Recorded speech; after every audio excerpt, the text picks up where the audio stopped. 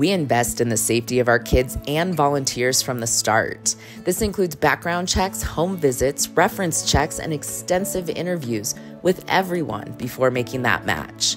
All of this ensures the safety and compatibility of the big and the little. When we connect a big, a guardian, and a little, staff spend many hours ensuring the relationship is just right and that it's developing in a positive direction over the first several months.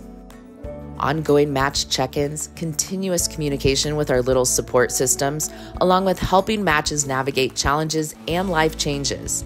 These are all ways our professionally trained staff lead bigs and littles into a lifelong relationship. Additionally, Big Brothers Big Sisters provides new experiences for matches that accelerate even stronger connections.